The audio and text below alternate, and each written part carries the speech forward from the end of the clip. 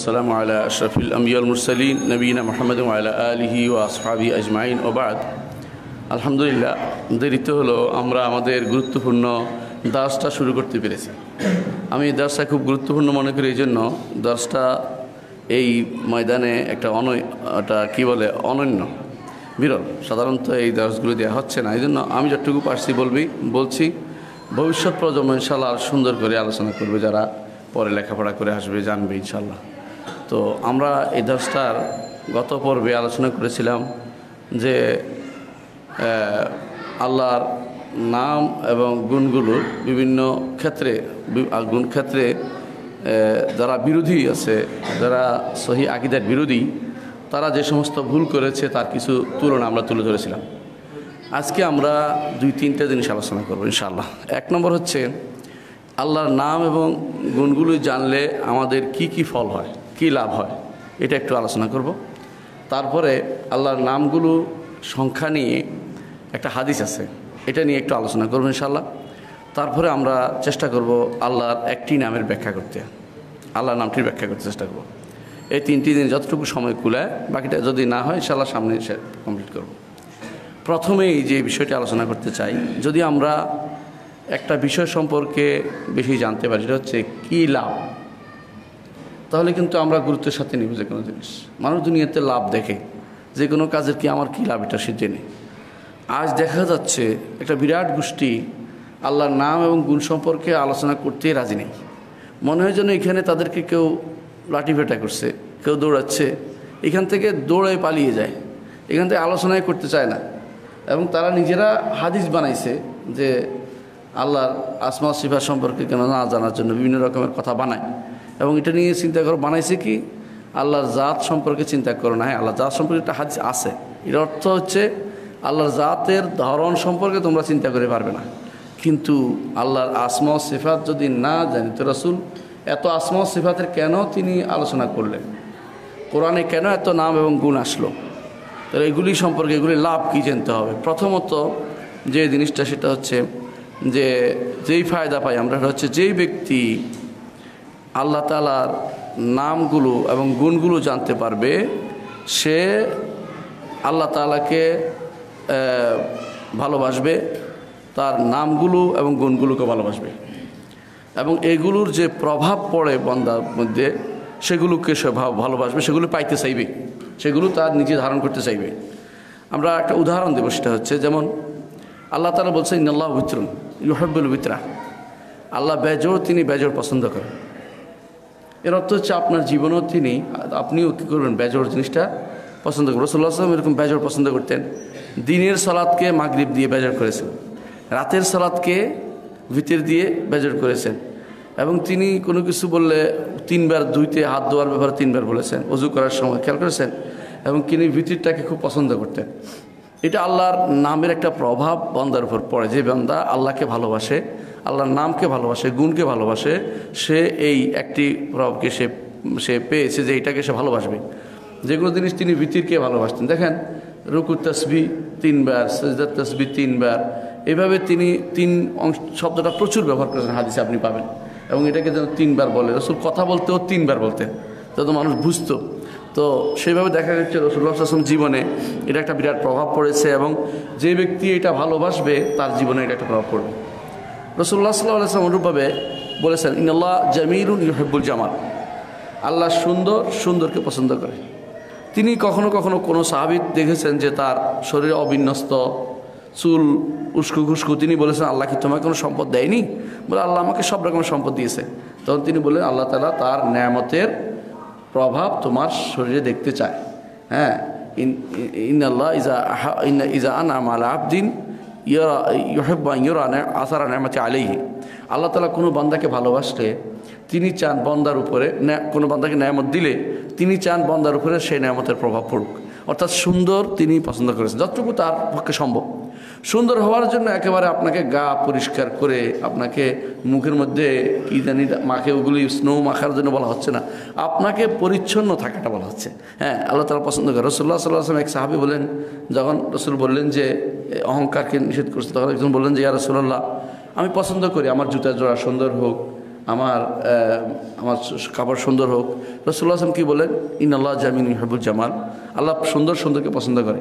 তাহলে আল্লাহর এই গুণটি তিনি চান বন্দার মধ্যে তার প্রভাব পড়ুক। বন্ধ সুন্দরভাবে চলাচল চলাচল করুক। বন্দার কর্মকাণ্ড সুন্দর হোক।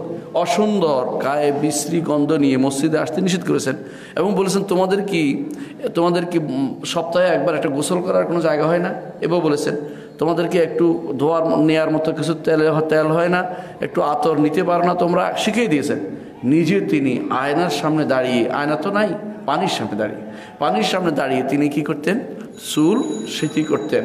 শিখিয়ে দিয়েছেন যে এটা সুন্দর করে যে ব্যক্তি কাউকে যদি কোনো চুল দেওয়া হয় সেজন্য সেটা যত্ন নেয়। রসুলটা হাদিসে বলেছেন। এর অর্থ হচ্ছে তিনি এটা পছন্দ করেন। এটা কোথেকে আসছে? আল্লাহর জামিল, আল্লাহর নামটার, এই নামটার প্রভাব যেন বন্দার উপর পড়ে, তিনি সেটা চেয়েছেন। অনুরূপভাবে আল্লাহ আফুন হাদিসে আছে ইন্নআল্লাহ আফুন হাদিসে আছে আল্লাহ ইন্নাকে আফুন তোহবুল আফা ফারফা আননি। আল্লাহ তুমি ক্ষমাশীল, ক্ষমা করতে ভালোবাসো। তুমি আমাকে ক্ষমা করে দাও। ঠিক আছে? তাহলে বোঝা গেল যে আল্লাহর ক্ষমা করা আল্লাহ একটা গুণ। এবং বন্দার মধ্যে এটা চায় বন্দাও আল্লাহর কাছে এটা দিয়ে তুলে ধরছে, আল্লাহ তুমি আমাকে ক্ষমা করে দাও। বন্দা এই ক্ষমার বিষয়টাকে আল্লাহ এত বেশি গুরুত্ব দিয়েছেন। হাদিসে আসর রসুল্লাহ সাল্লাহ আসলাম বলেছেন, হাসরের মাঠে এক ব্যক্তিকে নিয়ে আসা হবে। নিয়ে বসে, ইয়া ফুল, হয় অমুক ব্যক্তি, কী করেছ ওই ব্যক্তি বলবে যে, আল্লাহ, আমি তো কিছুই করি নাই। তবে একটা কাজ করতাম। মানুষকে আমি ঋণ দিতাম। যখন সে পারত না তখন আরও ক্ষমা দিতাম আরও সার দিতাম আরও ছাড় দিতাম। আল্লাহ বলে যে এটা ছাড় দিয়ে দাও, পার করে দাও। আল্লাহ তাহলে এই যে ছাড়টা দিত, এটা ক্ষমার কি ক্ষমার কি একটা প্রভাব বন্দার উপর পড়েছে। হ্যাঁ তো বন্দার উপর যে প্রভাবটা পড়ে, এটা আল্লাহর নাম এবং গুণের প্রভাবটা যখন বন্দা এটাকে ভালোবাসে, এই নাম এবং গুণগুলিকে ভালোবাসে। হ্যাঁ অনুরূপভাবে দেখেন, আল্লাহ তাআলা তিনি শাকের ইহাবু শাকেরিন। হ্যাঁ তিনি শুকর গুণগ্রাহী, অর্থাৎ শুকর কি? তিনি, আপনি যদি ভালো কাজ করেন, আল্লাহ, এই ভালো কাজ করার তৌফিক কে দিছে? আল্লাহ। অথচ আপনি ভালো কাজ করলে আল্লাহ কিন্তু আবার আপনার প্রশংসা করতেছে। এর অর্থ হচ্ছে, বান্দা, আমার কাজটাকে, আমি যে তাকে তৌফিক দিয়েছি, যথাযথ প্রপার ইউটিলাইজ করতে পেরেছে। এখন তাকে আল্লাহ তালা পছন্দ করবেন। এই জন্য শুকর গুজারকে আল্লাহ ভালোবাসেন হ্যাঁ? এই জন্য হাদিসে আসে রসুল্লাহ সাল্লাহ আসলাম বলেছেন, মাল্লাম ইয়েশকরি নাসা আল্লাম ইয়েশকরিল্লাহ। কেউ যদি মানুষের শুকর গুজার না, আল্লাহ শুকর, আল্লাহর জন্য শুকর গুজার হয়নি। হ্যাঁ অন্য হাদিসে আল্লাহ, কোরআন কারিমে আল্লাহ তালা বলছেন গেহাবু শাকিরিন হ্যাঁ তিনি শুকর গুজারকে পছন্দ করেন। তাহলে অর্থ হচ্ছে যে এটার প্রভাবটা বন্দার উপর পড়ে, যেন চায়। যে কোনো মানুষ যেন কিছু আল্লাহ, তার উপর কেউ কিছু করে দেয়, সে যেন সুক্রিয়া আদায় করে, সে যেন সুক্রিয়া আদায় করে। এবং এটাও বলেছেন, তোমাদের কেউ যদি কারও কিছু করে দেয়, সে যেন সুক্রিয়া আদায় করে। ধরেন আপনি একটা কাজ করে দিলেন আমার আমি জন্য বলি বলে যে আল্লাহ আহ, শুক্রিয়া আদায় করেছি তারপর তারপর আপনার শুক্রিয়া আদায় করেছে আপনি কাজটা করে দিলেন। এটা যেন বলে আপনার কৃতজ্ঞতা পাশে আবদ্ধ হন। কিন্তু হ্যাঁ যদি না পারেন হাদিসে আছে যেন অন্তত পক্ষে আল্লাহ আপনাকে উত্তম যাজা দান করে এটা বলছে। এর অর্থ হচ্ছে আমি শুক্রিয়া আদায় করে বিনিময় দিতে পারিনি কিন্তু আল্লাহ আপনাকে দিয়ে দিন। তারপরেও শুক্রিয়া আদায় করাটা গুরুত্বপূর্ণ একটি কাজ। এটা কোথেকে আসলো? আল্লাহ তালা তিনি যেহেতু শাকের তিনি যেহেতু শাকের, সুতরাং তার এই শুকর গুজারের এটার প্রভাব বন্দার উপর পড়ে, বন্দা শুকর গুজার হয়। নাহলে বন্দা যদি কোনো কঠিন হৃদয় হয়, তাহলে আল্লাহ তালার কাছে সেটা খুব পছন্দনীয় হয় না। এই জন্য আরেকটা দেখেন, আল্লাহ তালা জওয়াদ ইহব্বু আহলাল জু আল্লাহ তালা তিনি দানশীল দানশীল, তাই না? দান কে করছে? আল্লাহ তো করে না। সবই তো আল্লাহ করছেন। আমাবিক ওমাবিকুম নেয়ামাতিন ভাবিন আল্লাহ তোমাদের যে সমস্ত নেয়ামত সবই কার থেকে? আল্লাহ থেকে। আল্লাহ তালা পছন্দ করেন, আমরা যেন এই জন্য হাত প্রসারিত করি। হাদিস আছে রসুল্লাহ সাল্লাহ আসলাম বলেছেন, প্রতিদিন সকালে একজন ফেরেস্তা একজন ফেরেস্তা নাজিল হয়। তিনি কি দোয়া করেন? আল্লাহুম্মা আতে মুন ফেকান খালাফান ও আতে মুন ফেকান তালাফান, মুন মুন সেকান তালাফান। আল্লাহ যেই ব্যক্তি দান করে, তাকে তুমি বাড়িয়ে দাও। আল্লাহ যে ব্যক্তি আটকে রাখে, তাকে তুমি শেষ, নিঃশেষ করে দাও। তাহলে বদোয়ার ভাগি হইতে হবে না দিলে। আর যে ব্যক্তি জু দান করে, আল্লাহ তালার পক্ষ থেকে তাকে দান করার বাড়িয়ে দেয়। আশ্চর্য হবেন, দুনিয়ার বুকে অনেক জায়গায় আমরা দেখেছি। যে যারা দান করে তাদের কিন্তু অভাব হয় না। তারা দিতে তার দিক দেয়, আল্লাহ দেয়, আল্লাহ তাদের দেয়। আর যারা দেয় না, একসময় কিন্তু তাদের হাত কিন্তু গুটিয়ে আসে, দেখা যায় তাদের দেয়ার আর সামর্থ্য থাকে না। এটা কোথেকে আল্লাহ তালা নামের প্রভাব তার উপর পড়ে। কারণ তিনি জওয়াদ ইহেব্বু আহলাল জুদ, তিনি ভালোবাসেন। যারা দানশীল, তাদেরকে আল্লাহ তালা ভালোবাসেন। অন্য, তাছাড়া আল্লাহ তালা হাইয়ুন হাইয়ুন অর্থ হলো তিনি লজ্জাশীল। ইহব্বু আহলাল হায়া, যাদের মধ্যে লজ্জা আছে, আল্লাহ তালা তাদেরকে পছন্দ করেন। রসুল্লাহ সাল্লাহ ইসলাম বলেছেন, আল হায়া ও খায়রন কুল্লু লজ্জা পুরোটাই ভালো কাজ। লজ্জা পুরোটাই ভালো কাজ। অনেক মানুষ লজ্জা অনেক কিছু বলতে পারে না, পরে বুঝে না বলাটাই ভালো হয়েছে। বললে ফলাফল উল্টো হইতো। আল্লাহ তালা তার ব্যাপারটা দেখে এবং তার অবস্থাটা অব- তিনি দেখছেন জানছেন অবলোকন করছেন এবং তাকে সেইভাবে তরিয়ে নেন পার করে নেন। এই জন্য আল্লাহ তালা হাইউন হাদিসে আসরসুল্লাহ সাল্লাহ বলেছেন ইন আল্লাহ হাইউন ক্যারিমুন আল্লাহ তালা হচ্ছে অত্যন্ত লজ্জাশীল লজ্জাশীল এবং দানবীর। হ্যাঁ, তিনি কেউ বন্দা যখন হাত তোলে তিনি সেটাকে খালি ফেরত দিতে লজ্জা পান। আল্লাহ আকবর। তিনি কিন্তু আপনাকে, আমাকে, যখনই আমি আল্লাহর কাছে চাইব, আল্লাহ তালা তিনি কিন্তু খালি দিবেন না। কি দিবেন? তিনটার একটা। হয় সাথে সাথে দিবেন, না হয় কি করবেন? আখরাতে দিবেন। না হয় অনুরূপ বিপদ আপনার থেকে দূর করে দিবেন। কিন্তু এ যাচ্ছে, বিফল যাচ্ছে না। এর অর্থ হচ্ছে, আল্লাহ তালার এই গুণগুলি যতই আমরা জানব, সেটার প্রভাব আমাদের উপর পড়বে, সে প্রভাবটা আমরা ভালোবাসতে পারব। তিনি শক্তিশালী। তিনি শক্তিশালী কবি জুলকুয়াতিল মাতিন, আল্লাহ শক্তিশালী, তিনি বলেছেন। তিনি শক্তিমান ইমানকে ইমানদারকে পছন্দ করেন। হাদিস আসর রসুল্লাহ সাল্লাহ আলাইসলাম বলেছেন যে ইন আল্লাহ ইহবুল মুমিনাল কবি আল মুমিনুল কবি আহাব্বু ইল্লাহ মিনাল মুমিনাল দারিব। শক্তিশালী ইমানদার ব্যক্তি আল্লাহর কাছে বেশি প্রিয়, দুর্বল ইমানদার ব্যক্তির চেয়ে। অফিকুল্লিন খায় তবে ইমানদার সবার কাছে কল্যাণ আছে। তবে আল্লাহর পছন্দ কার বেশি? শক্তিশালী ইমানদার এই শক্তিশালী অর্থ এরকম নয় যে আমি বডি বিল্ডার হচ্ছে, এটা নয়। ইমানের দিক থেকে শক্তিশালী এবং কর্মকাণ্ড চালার দিক থেকে শক্তিশালী এবং সলাত আদায় আল্লাহর কর্মকাণ্ডে শক্তিশালী। মোটা মানুষ যদি এখানে বিশাল হয়, বপু হয়, সে বলতে চিত্রই পড়ে থাকবে, এদের কোনো কাজ হবে না। এর অর্থ হচ্ছে আল্লাহ তালা পছন্দ করেন ইমানের মধ্যে যে ব্যক্তি মজবুতি আছে এবং কর্মকাণ্ডে প্রাণ চঞ্চল, এরকম ব্যক্তিকে আল্লাহ তালা পছন্দ করেন। অলস কর্মকাণ্ডে না, একটা করেই শুয়ে থাকবে, এরকম মানুষকে আল্লাহ পছন্দ করে না। এই জন্য যতক্ষণ প্রাণ আছে, ততক্ষণ কাজ করে যেতে হবে। যখন নিয়ে যাবে কার কাছে যাব আল্লাহর কাছে যাব তাই না? এতক্ষণ আমাদেরকে কাজ করে যেতে হবে। জন্য প্রত্যেকেই প্রতি মুহূর্ত আল্লাহ আল্লাহর কাজে লাগানোর জন্য চেষ্টা করতে হবে। এতে কি হবে? আল্লাহ তালা তিনি শক্তিশালী ইমানদারকে ভালোবাসেন ঘোষণা দিয়েছেন। সুতরাং শক্তিশালী ইমানদার হতে হবে। কেউ কেউ এটার থেকে দলিল নিছে যে ফুটবল খেলে শক্তিশালী হতে হবে। আবার ওই কি? Cricket cricket. ক্রিকেট হলে শক্তিশালী হলে না, একটা কিটা একটা আছে না দিকে মারা যায়। হ্যাঁ? বাস্কেটবল হ্যাঁ হ্যাঁ। আবার এগুলি আসলে তারা বের করে নিছে আর কি। এগুলি অর্থ নয়, এটার অর্থ নয়। ইমানদার, শক্তিশালী হতে হলে হ্যাঁ জেহাদের জন্য আল্লাহ দিন প্রচারের জন্য নিজের আবাদতের জন্য, যদি শারীরিকভাবে শারীরিক সুস্থ থাকে, এটা আল্লাহর কাছে বেশি প্রিয়। কারণ সে এটা কাজটা বেশি কাজে লাগাতে পারবে। কিন্তু ওইরকম শুধুমাত্র এটার উদ্দেশ্য নিয়ে শব্দ একটা পাইছি যেহেতু, এখন তাড়াতাড়ি করে কি করি? বডি বিল্ডার অথবা সিক্স প্যাক কিছু কই, এই জাতীয় কথাবার্তা আসলে আল্লাহ তালার মানে এগুলি পছন্দনীয় নয়। এগুলি উদ্দেশ্য নয় আমাদের। উদ্দেশ্য হচ্ছে ইমানি এবং এবাদতের ক্ষেত্রে শক্তিশালী হবে ইমানদার। এটা একটা গুরুত্বপূর্ণ জিনিস। আচ্ছা আর কি? আল্লাহ তালা আলিম তিনি সব কিছু জানেন, তাই না? জানেন জানেন না? তিনি কাকে পছন্দ করেন? আহলাল আলম জ্ঞানীদেরকে পছন্দ করেন। হ্যাঁ? তিনি পছন্দ করেন জ্ঞানীদেরকে সবচেয়ে বেশি। আল্লাহর প্রিয় বান্দা কারা? সবচেয়ে প্রিয় বান্দা জ্ঞানীরা। কারণ আল্লাহ তালা সম্পর্কে তারা বেশি জানে বেশি জানে। এই জন্য হ্যাঁ ইন ইনাল্লাহ তার ওলা, ওলামাদের তিনি পছন্দ বেশি করেন। এই জন্য তিনি কি করেছেন?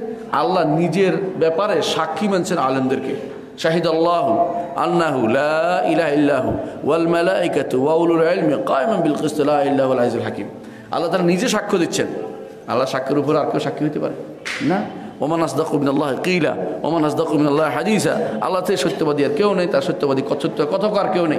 তিনি সত্য বক্তা, তিনি সত্য সাক্ষ্য দিচ্ছেন। সেই সাক্ষীর সাথে তিনি ফেরের সাথে সাক্ষী এনেছেন। আর কার সাক্ষী এনেছেন? আলেমদের সাক্ষী, জ্ঞানীদের সাক্ষী। হ্যাঁ এটা কোন আলেম বলেন তো? বীজগণিতের আলেম পাটিগণিতের না, যারা আল্লাহ সম্পর্কে জানে, যারা দিন সম্পর্কে জানে, যারা রাসুল সম্পর্কে জানে, আখেরাত সম্পর্কে জানে ইমান সম্পর্কে জানে, যারা আল্লাহর নাম ও গুণ সম্পর্কে জানে হ্যাঁ এই নাম, সিফত এবং গুণ সম্পর্কে যারা জানবে, তাদেরকে আল্লাহ ভালোবাসেন, কারণ তিনি আলিম, এলমের প্রভাব বান্দার উপর পড়বে। আল্লাহর বান্দাদের মধ্যে শ্রেষ্ঠ ব্যক্তিত্ব ওরাই আলেম যারা তারা।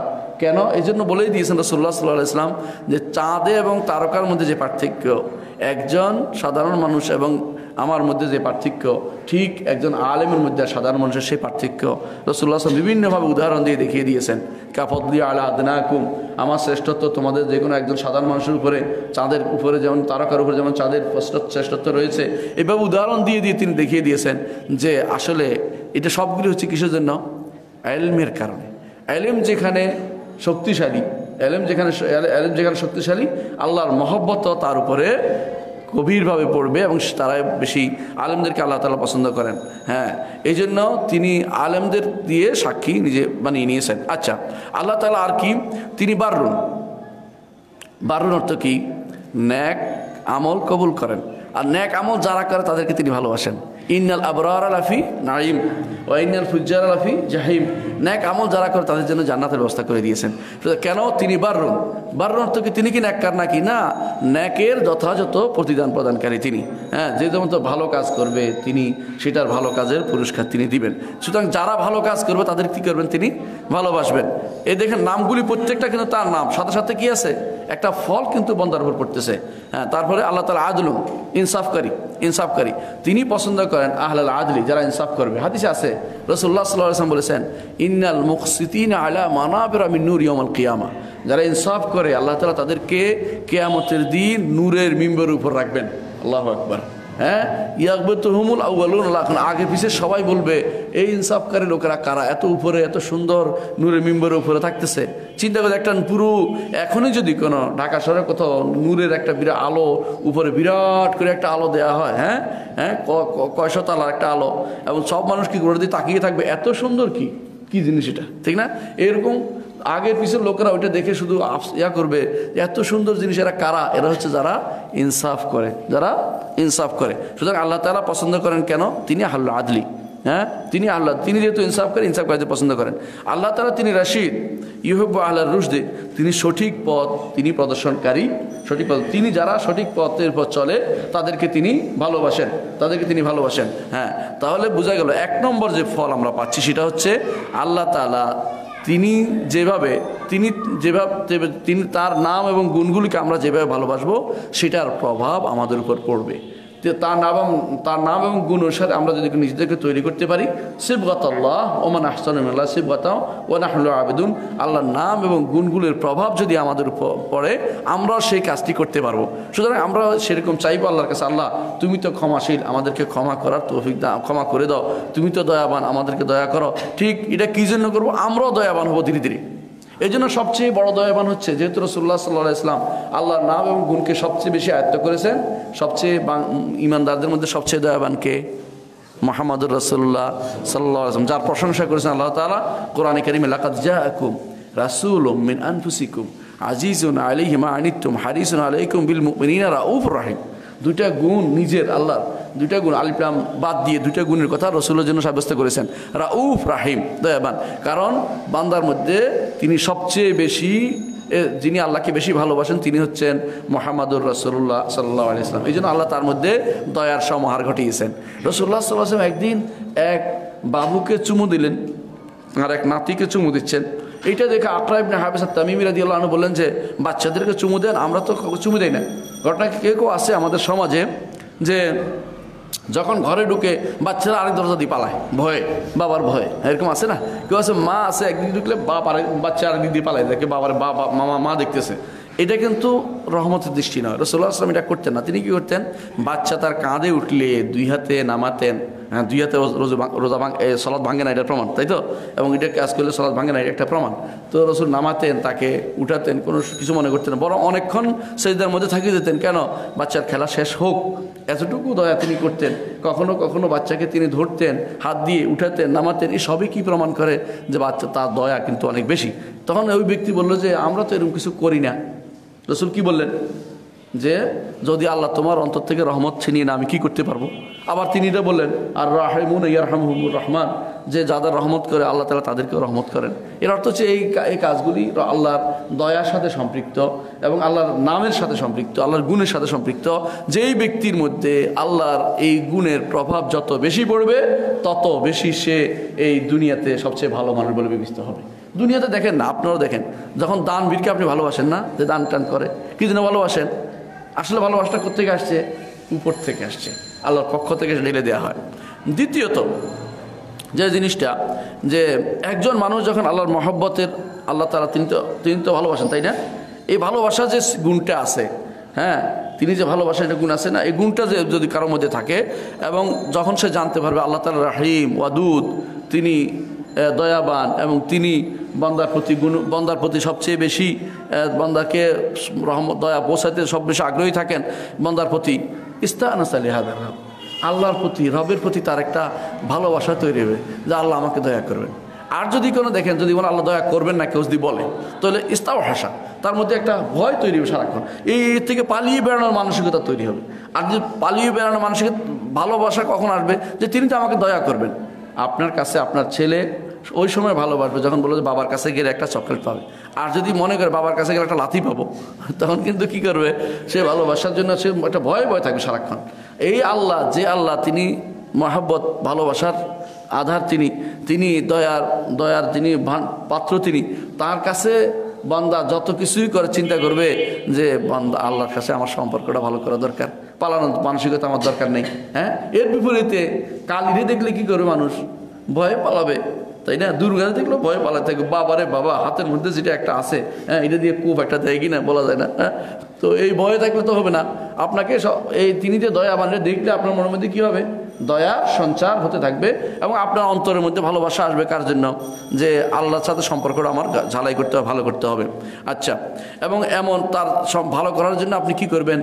সন্তুষ্টি অর্জনের জন্য আবাদত করবেন এবং যে কাজটি করলে আল্লাহ খুশি হয় সেটা করার জন্য ব্যস্ত হয়ে পড়বেন যে আমার আমার আমার রব আমার রব তিনি কতই না ভালো, কতই না ভালো। সুতরাং আমি এই কাজটি করি।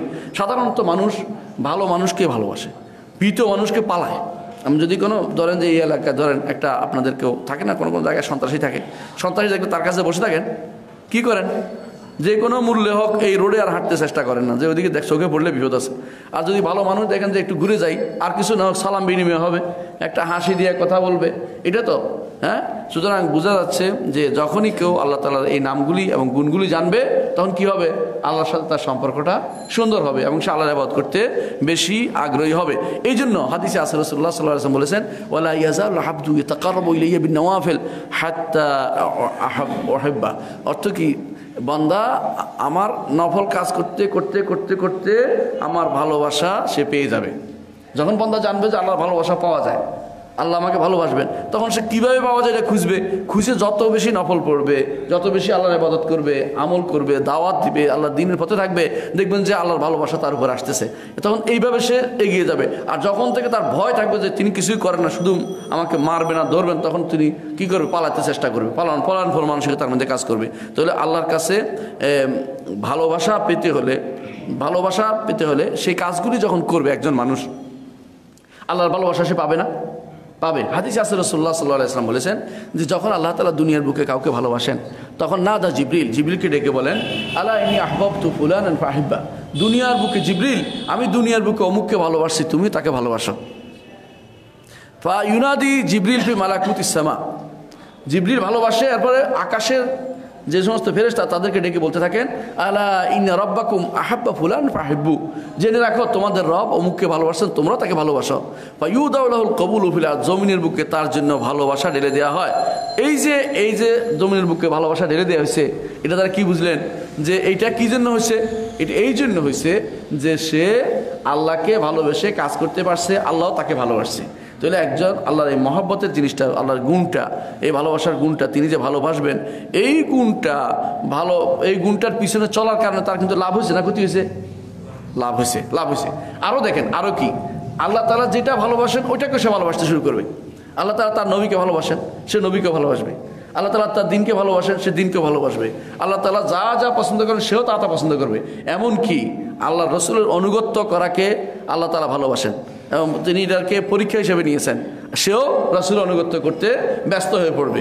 আল্লাহ তালা কোরআন বলছেন, কুলিং কুন্তুম তো হেব্বুন আল্লাহ ফাত্তাবিউন ইহবেবকুমুল্লাহ তাহলে একটি গুণে যদি এত কিছু হয়, চিন্তা করতেছেন, এরকম আল্লাহর হাজার হাজার লাখ লাখ গুণের মধ্যে আপনি কতটুকু আপনি চিন্তা করতে পারেন? এক একটা গুণ শিখলে যদি আমি একটা গুণ দ্বারাই বুঝছি আল্লাহকে, এই ভালোবাসার গুণটা দিয়ে আমার কত লাভ হচ্ছে?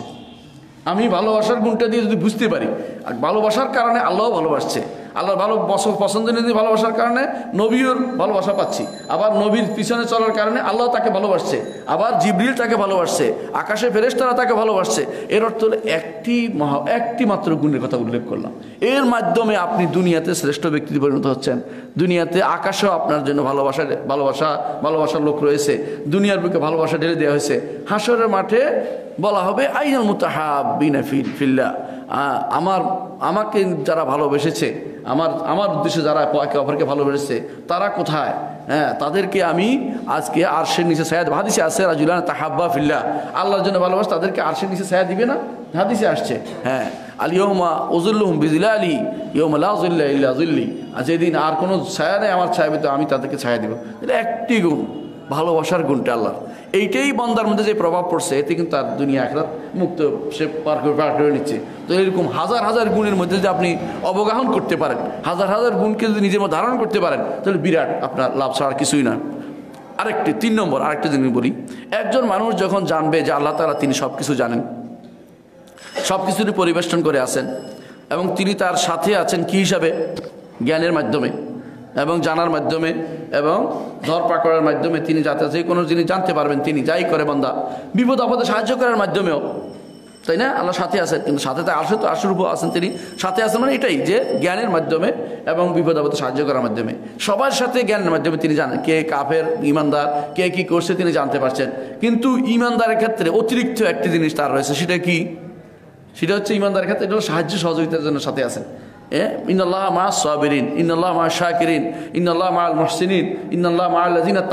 মা আল্লাহ এই সবগুলি আয়াতগুলি আসছে, আল্লাহ সাথে থাকার। একজন মানুষ যখন জানবে যে আল্লাহ তাআলা কিন্তু আমাকে দেখছেন, জানছেন, আমার যত অন্যায় করি না কেন, তিনি কিন্তু আমাকে হ্যাঁ ক্ষমা করবেন, ঠিক আছে, কিন্তু আমাকে কিন্তু তিনি দেখে ফেলবেন, যাই করি। আপনি যদি দেখেন, আপনার বাবা কিছু একটা অন্যায় করলে দেখে ফেলবে, আপনি কি করবেন? করবেন? না পালিয়ে বেরোতে বাবা যেন না দেখে। যাই করি গোপন অন্ধকারে করি, তাই না? অনেকে কেউ বাবা যেন না দেখে। দশটা টাকা নিতে গেল ঘর থেকে বাবা যদি রাগ করে যে এটা কই যাচ্ছিস তুই একটা কথা, সাবধানে নিতে হবে ওদের দেখে না দেখে। আল্লাহ তালার ব্যাপারটি দেখেন। আল্লাহ তালা তিনি তো আপনি যতই লুকান না কেন, আপনি যতই লুকাই করেন না কেন, আল্লাহ কি, আল্লাহর কাছ থেকে গোপন থাকবে? গোপন থাকবে?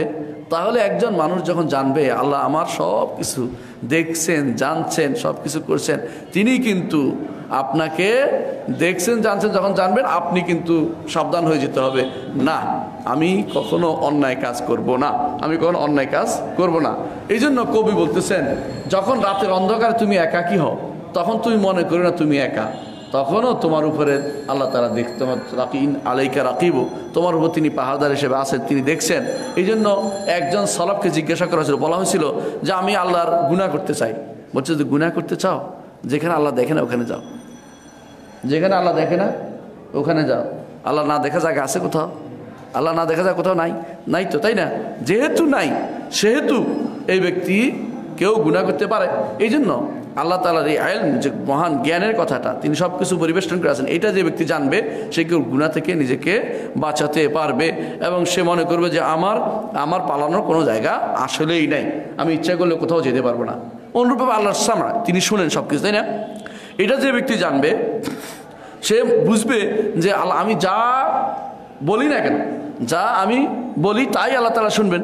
আমরা যা বলছি আল্লাহ শুনেন শুনেন হ্যাঁ। এই জন্য কাফেররা একবার একত্র হয়েছে কাবার পাশে। একত্র হয়ে বলতেছে, আমরা যা বলি আল্লাহকে সব শুনেন। তো এক একদল বলছে, আল্লাহ, জোরে যেটা বলে এটা বোধহয় শুনে। আরেকজন বলছে, যেটা আসতে বলে এটা বোধহয় শুনে না। আল্লাহ তালা তখন কোরআনে কারিমে আয়াত নাজিল করে দিলেন। যে আল্লাহ তালা সব শুনেন হ্যাঁ? ওলা ঝাড়বে সলাতকে ওলা আত্ম তোখাফেদ বিহা ওয়াবতাকে বাই নাজাইলকে সাবিল। আপনি বড় করে বলার দরকার সবই আল্লাহ তালা শুনতে পান। এরা যে মনে করেছে, আমি কিছু শুনি না, তা না, আমি সব শুনতে পাই। আল্লাহ আয়াত নাজিল করে তাদেরকে বোকা বানাই দিলেন যে, তোরা বোকারা, তোরা মনে জোরে বললে শুনে, আসতে বললে তো শুনে না। আল্লাহ তালা সব শুনতে পান। এই জন্য আপনি কি বলবেন, এটা কিন্তু আল্লাহ তালা যখন শুনবেন, আপনি কি বলেন? মুখে লিমিট আসবে। লিমিট আসবে না?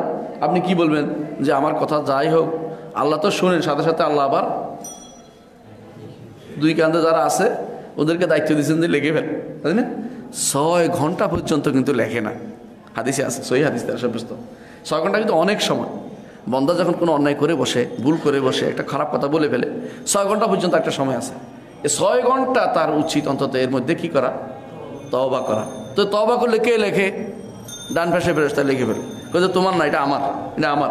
জন্য একজন মানুষ সবসময় চিন্তা করা উচিত আমি যা বলি, তা কিন্তু লেখা হয়ে যাবে। আল্লাহ জেনে যাবেন। আমার যত তা তত তাড়াতাড়ি সময় তওবা করা উচিত। রসুল্লাহ সাল্লাহ আসলাম বলেছেন ও আতবেই সৈয়াতিল হাসানাতা তামুহা। একটা অন্যায় হয়ে গেলে সাথে সাথে একটা ভালো কাজ করে মিটিয়ে দাও। এটাকে মিটিয়ে দাও, অন্যায় কাজটা মিটিয়ে দাও। হ্যাঁ ও খাল খুলুকিন হাসান। মানুষের সাথে উত্তম চরিত্রে তুমি চলাফেরা করো। তাহলে একজন মানুষ যখন জানবে, আল্লাহ সব কিছু শোনেন, তখন কী করবে? নিজেকে পিউরিফাই করবে, কথা বলার সাথে সাবধানে বলবে এবং সে এমন কথা বলবে যেটা লায়াকুল ইল্লা খায়রান। রসুল্লাহ সাহেবের জন্য বলেছেন যে তোমাদের মধ্যে যে কেউ মান কান ইউমিনু বিল্লাহ লিয়মিল আখির ফাল ইয়াকুল খায়রান আও লিয়াসমুত। যে তোমাদের মধ্যে যে আখেরাত দুনিয়া আল্লাহর উপর এবং আখেরাত ইমান রাখে, সেই জন্য ভালো কথা বলে অথবা চুপ থাকে। ভালো কথা বলে অথবা চুপ থাকে। এর অর্থ হচ্ছে ভালো কথা হয় ভালো কথা বলতে হবে, নাহলে নিজেকে চুপ রাখতে হবে। তাতে ফেরেস তারা কিছু লিখতে না পারে। লিখলেও সাক্ষী হবে, এটা হাসার মানুষ সাক্ষ্য দিবে, মুখে সাক্ষ্য দিবে হ্যাঁ? যেদিন সব কিছু সাক্ষ্য দিতে থাকবে শরীরের, সেটার সাথে আমরাও সাক্ষ্য দিবে। এর চেয়ে ভালো কি? চুপ থাকা চুপ থাকা। এই জন্য সর্বসাধারণ কখনো কখনো কেউ কেউ অনেক সময় তার থেকে মুখ থেকে কথা বের করতে পারতো না। আর আমরা তো কথা বলেই যাচ্ছি আল্লাহ আমার কাছে মাফসা আসা উপায় নেই। কথা ভালো অথবা চুপ, দুইটার একটা। যেটা আপনার পক্ষে যাবে অথবা আপনার বিপক্ষে যাবে, খেয়াল রাখবেন যে কোনটা আমার পক্ষে যাচ্ছে, কোনটা আমার পক্ষে যাচ্ছে। বিপক্ষে গেলে সেটা কিন্তু আপনার পিছনে বিপদ। এই জন্য হাদিসে আসে রসুল্লাহ সাল্লাহ ইসলামকে জিজ্ঞাসা করে, ইয়া রসুল্লাহ আমরা যা বলি, তা দিয়ে কি আসলে আল্লাহ আমাদের জিজ্ঞাসা করবে? রসুল কি বলছেন? সাকিলাতকে অমুক তোমার মা তোমাকে হারিয়ে ফেলুক। এটা সাধারণত এটা আদরের ডাক। আমাদের চিটাঙ্গের মানুষ আদরের ডাক একটা আছে, এরকম। নাম বলতে চাই না, তাই না? হ্যাঁ? আমাদের কুষ্টিয়ার মানুষের আদরের ডাক একটা আরও খারাপ। আদরের ডাকের মধ্যে কিছু শব্দ আছে যেগুলো উদ্দেশ্য, শব্দ উদ্দেশ্য হয় না। উদ্দেশ্য হয় কি? হারিয়ে ফেলে উদ্দেশ্য না। উদ্দেশ্য হচ্ছে, তো হায় রে পাগল, এটা আর বলি না আমরা কথায় কথায়? হায় রে বোকা। কিন্তু বোকা উদ্দেশ্য না, তাকে কি বলা? এটাকে মানে আদর করে একটা কথা বলা। এই জন্য রসুল বলছেন, সাকিলাত অমুক তোমার মা তোমাকে হারিয়ে ফেলুক। মানুষকে তো তার মুখের কি বলছে, এটার উপরে নির্ভর করে তাকে জাহান নামে অধমুখে নিক্ষেপ করা হবে। এর অর্থ হচ্ছে যে কোনো মানুষ কথা বলার ক্ষেত্রে হাজার বা চিন্তা করবে যে আমার পক্ষে যাচ্ছে না, বিপক্ষে যাচ্ছে। অনেক হাদিস আছে রসুল্লাহ সাল্লাহ বলেছেন যে একজন মানুষ আল্লাহর সন্তুষ্টির ভেবে কথা বলে। এক কোনো একটা সন্তুষ্ট, সে মনে করছে একটা ছোট কথা বলছি। কিন্তু আল্লাহর কাছে এত বেশি প্রিয় হয়েছে যে এটার কারণে জান্নাতের তার একটা জায়গা হয়ে যাবে। আরেকজন মানুষ একটা ছোট্ট একটা কথা বলেছে আল্লাহর সন্তুষ্টি মনে করছে কিছুই না, কিন্তু এটা এত কঠিন আল্লাহর কাছে বিবেচিত হয়েছে, আল্লাহ তালা এটাকে এইটার কারণে তারা জাহান্নামে নিক্ষেপ করবে। তাহলে ভালো কাজ, যখন একজন মানুষ জানবে যে আল্লাহ সব শুনছে, তখন তার কি করা উচিত? ভালো কথা বলা উচিত অথবা চুপ থাকা উচিত। ঠিক আল্লাহ আরেকটা গুণের কথা বলি, একজন মানুষ যখন জানবে, আল্লাহ তালা দেখছেন, আল্লাহ তালা তিনি বাসার, রুইয়া, নজর, আইন, যখন দেখার গুণগুলি, অনেকগুলি গুণ তার। হাদিসে আছে, বাসার, দেখার কথা, চোখের কথা হাদিসে আসছে। এবং তিনি তিনি দৃষ্টি দেন, এটাও আছে, দৃষ্টি দেন, এটাও আছে। যখন এটা সে জানতে পারবে, তখন কি হবে? সে বলবে যে আল্লাহ তালা আমার প্রত্যেকটা অবস্থা দেখছে, সুতরাং আমি কল্যাণমূলক কাজ ছাড়া আর কিছু করব না। যে আল্লাহ দেখেন এবং জানেন, সে আল্লাহ সম্পর্কে আমার কোনো কিছুই গোপন থাকবে না। আমি যা করি না কেন, তিনি সবই জানতে পারবেন। ঠিক আরেকটা দেখেন, আল্লাহ তালা যখন একজন মানুষ জানবে যে আল্লাহ তালা পছন্দ করেন এবং তিনি সন্তোষ লাভ করেন, কোনো কোনো কাজে, তাই না? তখন বন্দা কি করবে? সবসময় খুঁজবে যে কোনটা তার সন্তুষ্টি আছে, কোনটা তার পছন্দ আছে, এটা দেখবে হ্যাঁ? এবং চিন্তা করবে যে আমি যদি তারে খুশি করতে পারি আল্লাহকে হ্যাঁ? ওয়া রিদওয়ানু মিনাল্লাহে আকবার। আল্লাহর পক্ষ থেকে সামান্যতম রেদওয়ান, সন্তুষ্টি আল্লাহর কাছে বান্দার এটা আল্লাহর কাছে অনেক বড়। অর্থাৎ আল্লাহর পক্ষ থেকে একটু সম- সম্প- সন্তুষ্টি যদি বান্দার জন্য হয়ে যায় যথেষ্ট। আর যারা চলে গেছে, আল্লাহ তাদের সম্পর্কে বলে দিয়েছেন রাদি আল্লাহ আনহু মরাদু আনহু। কারা এরা? সাহাবাই কেরাম। দেখছেন? ওদেরকে এইটার মাধ্যমে আমরা জান্নাতি বলে থাকি যে আল্লাহ যেহেতু সন্তুষ্ট হয়ে চলে গেছেন, এরপরে আল্লাহর কোনোদিন বলেন না যে তোমাদের উপর আল্লাহ রাগ করেছেন। রাগ করেছেন। এবং হাদিসের রসুল্লাহ সাল্লাম এটাও বলে দিয়েছেন, যারা আহলে বদর তাদের সম্পর্কে কি বলেছেন? যে এ ফা এ মালুমা সেই তুমি ফাঁকাত গাফার তুলাকুম যা ইচ্ছে তা করো, ক্ষমা করে দিলাম। হ্যাঁ কিন্তু তারা কি ব্যাপার হয়ে গেছিলেন? না, কখনো ব্যাপার হননি। বরং আরও তারা বেশি বেশি ভয়ে ছিলেন, বেশি বেশি ভয় তাদের মধ্যে কাজ করেছে। কারণ তাদের অন্তরটা আল্লাহ জানতেন যে এরা কোনোদিন আর এরা কোনোদিন আর শরিয়া বিরোধী পদে চলবে না। এরা কোনোদিন আকিদে বিরোধী কাছে যাবে না। এরা হচ্ছে পরীক্ষিত মানুষ, এরা হচ্ছে পরীক্ষিত মানুষ। এর বাইরে দুনিয়ার বুকে মানুষগুলো কি? সবই অপরীক্ষিত। আমরা, আমাদের কোনো পরীক্ষা দিয়ে পাশ করিনি। আমরা কোনো রকম যাচ্ছি যাচ্ছি যাচ্ছি। বরং কঠিন বিপদ আসলে আমরা আস্তে আস্তে পিছনের দিকে ফেরার জন্য চিন্তা ভাবনা করি না নওয়াজবিল্লা এই জন্য আমাদের বেশি বেশি আল্লাহর সন্তুষ্টি লাভ কোথাও এটা খুঁজে বেড়ানো দরকার। কারণ যেন আমরা এই সন্তুষ্টির মাধ্যমে কবর যেতে পারি। যেন এই হাদিস আছে রসুল্লাহ সাল্লাহ আসলাম বলেছেন ইন্নামাল আমাল বিল খাওয়াতিম।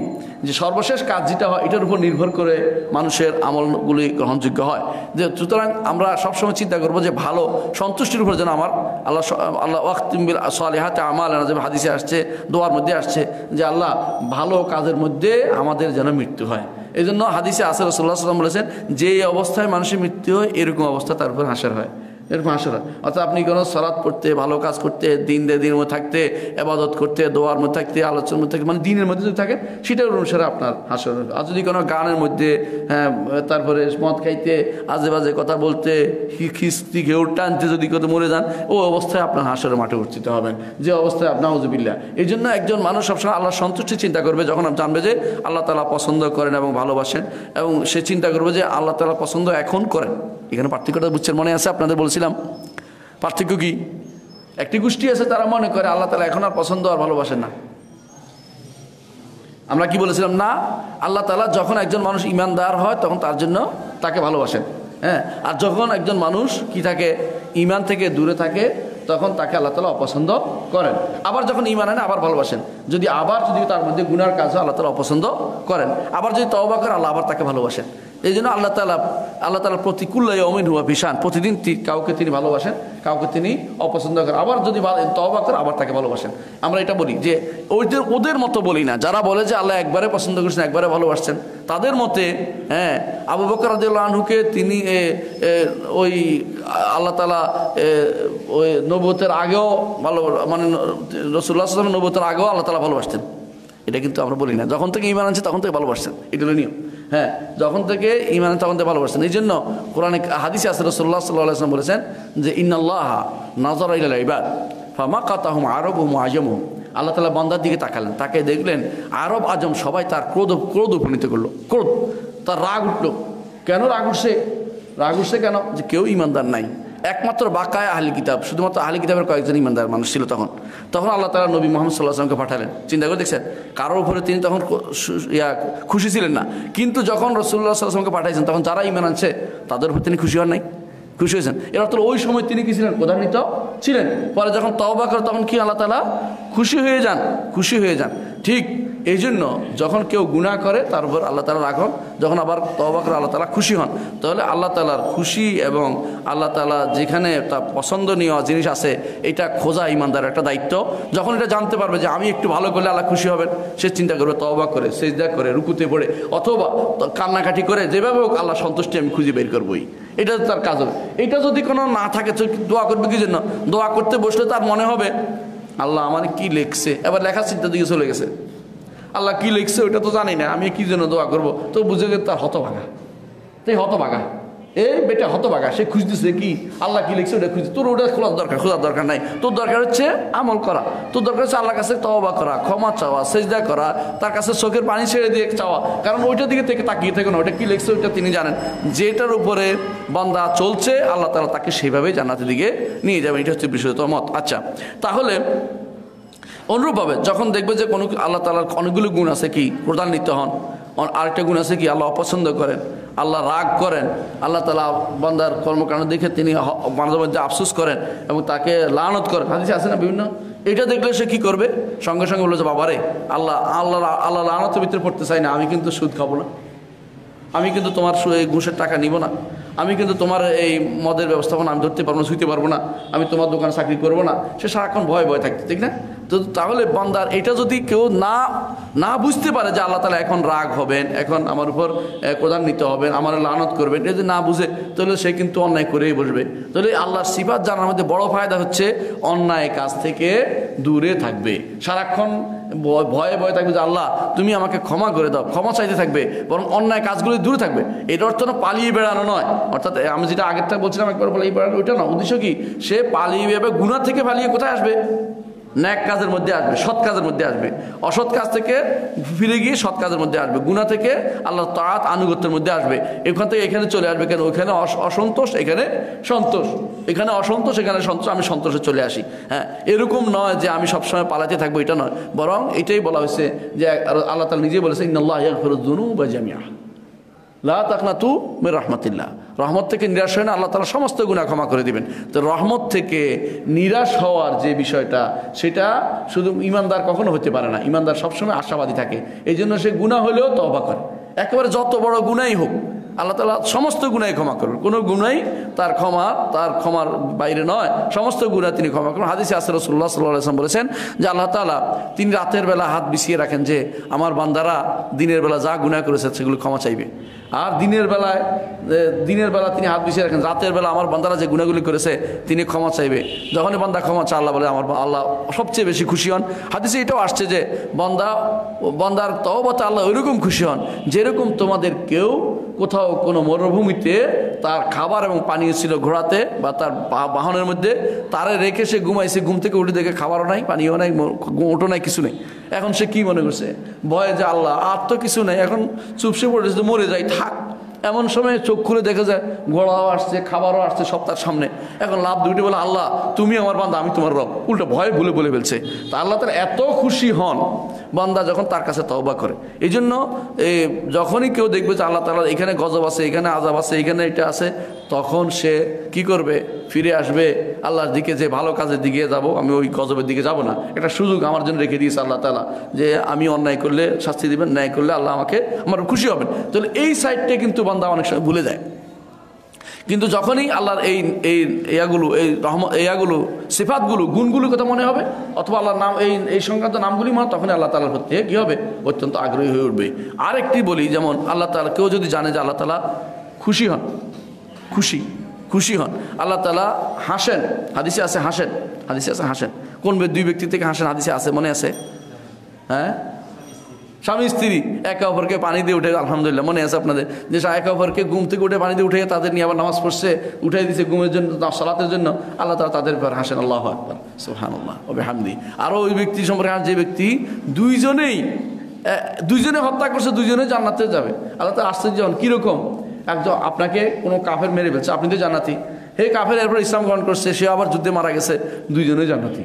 জান্নাতে উঠবে, জান্নাতে উঠে কিরে? আমিও তো সেই, তো তুমিও তো সেই।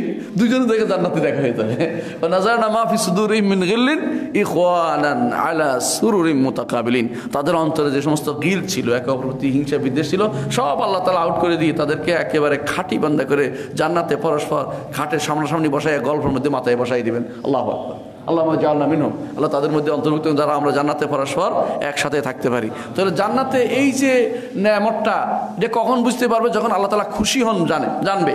যখন জানবে আল্লাহ কিসে খুশি হন, কিসে হাসেন, এই জন্য এক বেদুইন যখন এই হাদিস শুনছে, তখন বলে ফেলল লাইয়া মিন এমন রব থেকে আমি কখন নিরাশ হব না? যে রবে হাসে। যে রবে হাসে, ওই রব থেকে আমি নিরাশ হব না। এই রব আমাকে পার করে দেবে ইনশাল্লাহ আশাবাদী থাকে মানুষ। তাহলে একজন মানুষ যখন, নিরাশ হয় না কখনো। মাঝে মধ্যে আমার কাছে এমন লোকরা প্রশ্ন করে, এত বড় গুণা করছে, এত আমার গুনার কথা আমাকে বলবেন না। বললে সাক্ষী হয়ে যাব। আমি আপনাকে যেটা বলে শুনুন, আপনি যা করেছেন একান্তভাবে আল্লাহর কাছে তবা করুন। আল্লাহ তালা বলেছেন ইনুল্লাহ জামিয়া সমস্ত গুণা তিনি ক্ষমা করে দেবেন। আপনি কারও কাছে কোনোদিন বলবেন না, বললে বিপদ আছে। কারণ বলার মধ্যে অনেকগুলি ক্ষতি জানেন? বলতে এগুলি স্বাভাবিক হয়ে যায়। মানুষের কাছে এই গুণাটা কী হয়ে যায়? স্বাভাবিক হয়ে যায়, ও, মুখেও করছে, আমি একটু করি। আবার কি মনে হবে? যে ওইটা তো কিছুই না তাহলে। আবার মনে হবে এগুলি আরেকজনের আলোচনার বিষয় হয়ে যাবে। সমাজের মধ্যে এটা ফেতনা তৈরি হবে। এই জন্য আল্লাহ তালা এটা সম্পর্কে বলছেন ইনাল্লাদিন ইউহিবুনা তাশিয়াল ফাহিশাতু ফিল্লাদিন আমলাহুম আদাবুন আলিম। যারা পছন্দ করে যে অশ্লীলতা ছড়িয়ে পড়ুক, তাদের জন্য রয়েছে কঠোর শাস্তি। কঠোর শাস্তি। হাদিসে আছে, কেউ যদি বলে দেয়, হাদিসে আছে, তার গুণা মাফ হয় না। হ্যাঁ ইলাল মুজাহেদ, যে ব্যক্তি মুজাহেদ বলে দিবে, তার গুণা মাফ হয় না। হাদিসে আছে। মাফ হয় না মানে কি? কারণ সাক্ষী হয়ে গেছে। হ্যাঁ মাফ হইলে ওই কেউ কান তো সাক্ষী দেবে অমুকের গুনার কথা শুনছি ওটা তো একটা সাক্ষী হয়ে গেল, এটা বিপদ না একটা। এই জন্য বলতে, গুনার কথা কাউকে, হুজুর কেউ শোনাইতে নেই। হ্যাঁ খ্রিস্টান ধর্মের কী নীতি জানেন? হ্যাঁ? কনফেশন ও যাইয়া কী করতে হইব? ফাদার বলতে হইব। বললে তো শেষ। আমাদের নিয়ম হচ্ছে বললে শেষ। কোনো গুণা নেই। রসুল্লাহ সাল্লাহ ইসলামের কাছে আছে সাহাবাহাম গুনার কথা বলতেন। হ্যাঁ যদি শাস্তির কথা শাস্তি প্রয়োগের জন্য তখন বলতেন। শাস্তি প্রয়োগ করার জন্য। কিন্তু এমনি কেউ গুণা করতেন না। ইয়া রসুল্লাহ আমি এমন এমন করছি কয় শোনো আমার সলাত আদায় করো। সলাত আদায় করছে, ইয়া রসুল আমি আমার সাথে সলাত আদায় করছে না? বলো, হ। বলো, আল্লাহ ক্ষমা করুন, যাও। মানে উনি শুনতেও চান না যে কী হয়েছে কেন? কারণ এটা শুনলে তো সাক্ষী হয়ে যাবে। উনি বলেন না কি করছ? হ্যাঁ বলার জোর করে বললেন আ তুই নিচ্ছে এবারে এক কাম করে ফেলছিস। এই বল কি হচ্ছে ধর এই দুই চার ধর এই বেলাল আছে কে হ্যাঁ, যে কি আছে ওসামা আছে ধর দুই দিক থেকে পিঠে ধর এই পিঠা তার পিঠে বের কর। এগুলি কিছুই বলে না কেন এটা তো রসুল্লাহ আসলামের কি নয় আদর্শ নয়। আদ- আল্লাহর মাঝে কোনো জিনিস হয়েছে আল্লাহ তালা ক্ষমা করে দিবেন। বন্ধা এবং বন্দার মাঝে হক আছে বন্ধা দিয়ে দিবে। আমি সেটার মধ্যে হাত ধরার কোনো দরকার। যতক্ষণ পর্যন্ত আমার কাছে মোকাদ্দমা না আসবে ততক্ষণ আমি বিচার করব না এটা হচ্ছে নিয়ম। মোকাদ্দমা বুঝলেন রসুল তো মামলা মামলা, মোকাদ্দমা যেটাকে বলে। রসুল তো একদিক দিয়ে বিচার তাই না? একদিকে বিচার একদিকে তিনি দায়, একদিকে নবী। সবগুলিতে তিনি একাই। প্রত্যেকটা কাজ তার, কোনোটা হয়েছে দাওয়াত দাতা হিসাবে, কোনোটা হয়েছে যে একজন ভালো পিতা হিসাবে। রসুলের কাছে ফাতেমা এসে বলেন ইয়া রসুল্লাহ আমাদের এই হয়, সেই হয়, আমাদের কিছু একজন খাদেম দেন। রসুল একজন পিতা হিসেবে বললেন, শোনো খাদেম টাদেম দেওয়া পারব না। বাবা তোমার কিছু চাই টাইও না? তো কী করবা? বলে তোমরা সোহান্লাহ আলহামদুলিল্লাহ আল্লাহ পড়ো রাতের বেলা। কী হিসাবে? একজন আদর্শ পিতা হিসাবে সন্তানদেরকে সেবা করছেন। আবার যখন একজন চুরি করে নিয়ে আসছে এই রসুল আমার আমার চাদর চুরি করেছে বলে হাত কেটে দাও। তাই না? আবার যখন কেউ আসে দেখেন কত রকমের। একজন এসে বলছে যে তুমি এ, আসে বলছে ইয়ার আমি এই কাজ অন্যায় করেছি। ব্যবসায় করেছি না না, তুমি মনে হয় হাত টাত দিছো, কিছু করো নাই। না, আমি করেছি। আরও জোর করে গরম করে বলছে। শেষে বলছে, এই পাগল নাকি? কোনো পাগল না, রসুল চাচ্ছিলেন না তাকে সে বলছেন, ফিরে যাক, আল্লাহর কাছে তবা করুক। কিন্তু সেই লোক একেবারে গুণা এত ভয় বেশি পেয়েছেন যে মনে করছেন যে আল্লাহ তালা আমাকে মাপ দুনিয়ার কষ্ট দিল, আখেরাতে আমি কি পাবো? মুক্তি পাবো। সেই আশায় তিনি পবিত্র হতে চেয়েছেন। এবং জিয়া রসুল আমাকে পবিত্র করে পবিত্র করুন বারবার বলতেছে, তার রসুল আসলাম তার উপরে কী করছেন?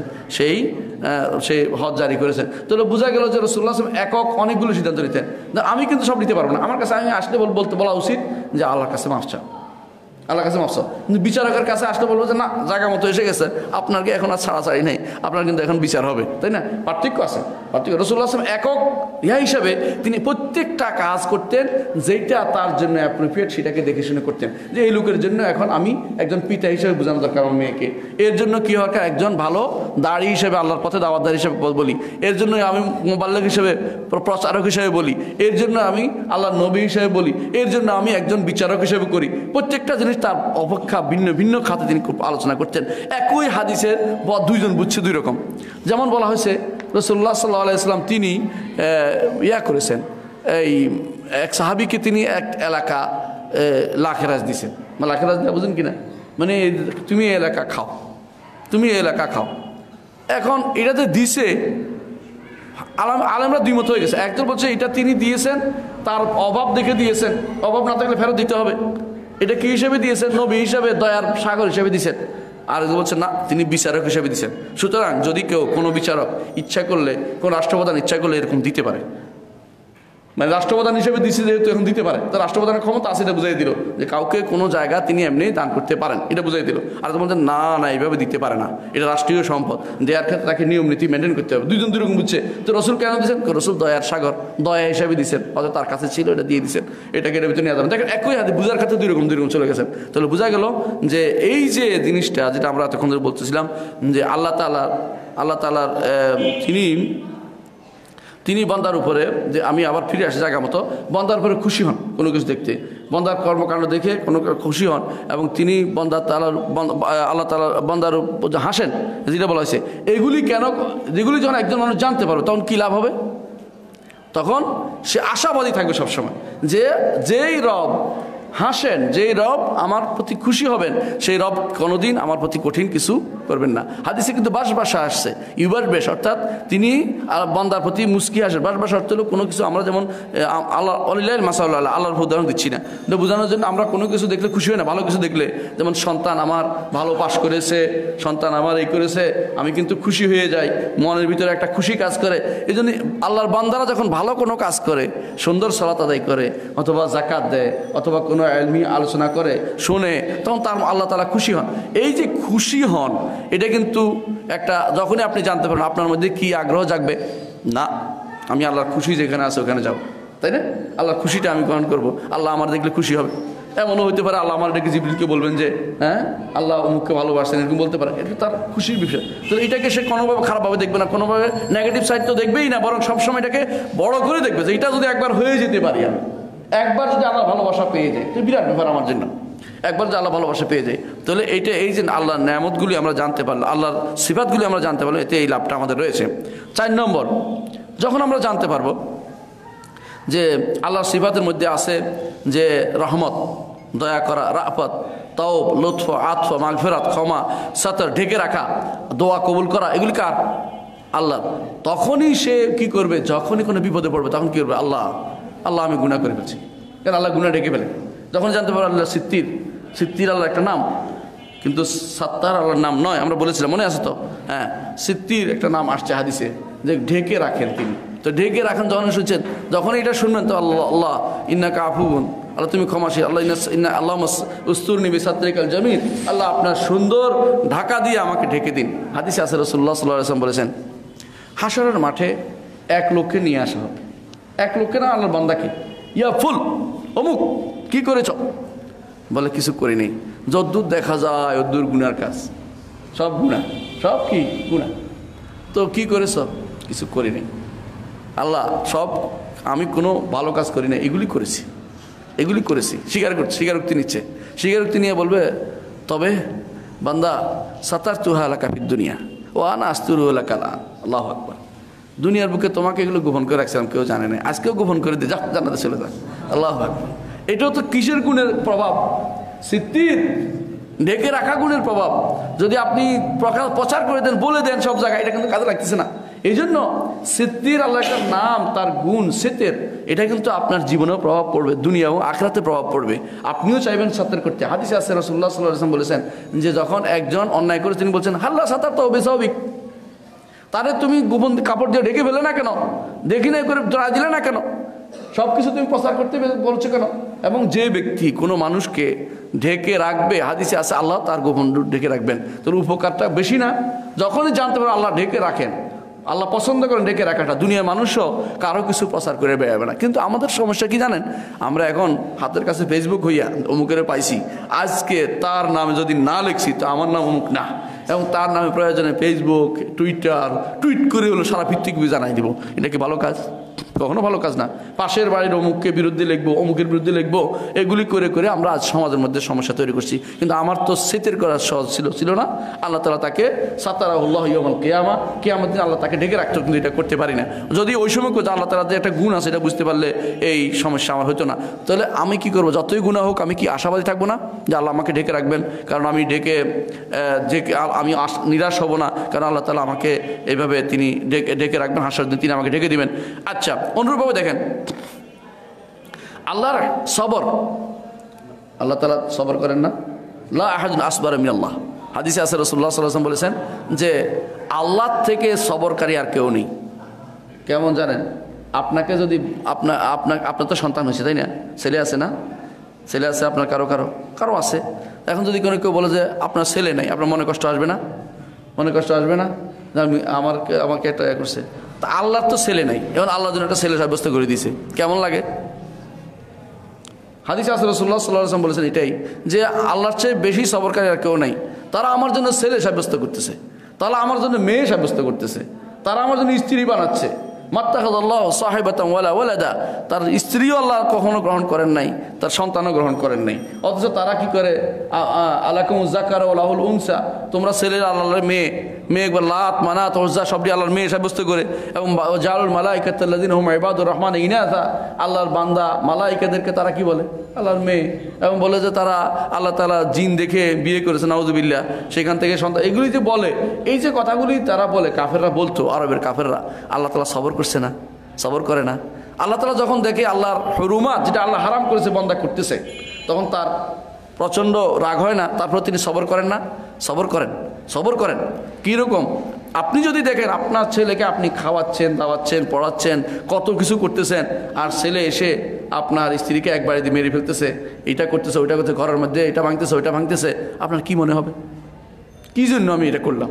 তাই না? কেন এটা করব? তারা পাইলে আমি শাস্তি দেবো। আর টাকা দিব না, আর খাওয়াবো না, এটাই তো করবেন। কিন্তু আল্লাহ তালা এত কিছুর পরেও তিনি কিন্তু আপনাকে খাওয়াচ্ছেন। আপনার অক্সিজেন কিনতে হচ্ছে না। অক্সিজেন কিনে কিনে চলতে পারবেন? অক্সিজেন কিনে কেউ চলতে পারবে না। আরব দেশে এক একজনের কথা আপনাদের মনে আছে যে বলছিল, বিশ দিন হাসপাতালে ছিল। ওই সময় তাকে এলাকায় ছিল কি বলে এটাকে? কৃত্রিম অক্সিজেন লাগাইছিল। বিশ দিন পর বের করার পর তাকে বিশ হাজার রিয়াল দিতে হবে বলছে। এক হাজার রিয়াল একদিন, বেশি না। তো লোকটা কাঁদতেছে। লোকটা কাঁদতেছে, বলে, কাঁদো কেন? তোমার টাকা না দিলে আমরা ব্যবস্থা করব? বলে, আমি এটার জন্য কাঁদছি না। আমি কাঁদছি এই জন্য সত্তর বছর পর্যন্ত আমার রব আমাকে বিনে পয়সায় নিঃশ্বাস নিতে দিচ্ছে তোমরা বিশ দিনে আমার বিশ হাজার টাকা উড়াই দিচ্ছ আমি আমার রবের কীভাবে শুক্রিয়া আদায় করব।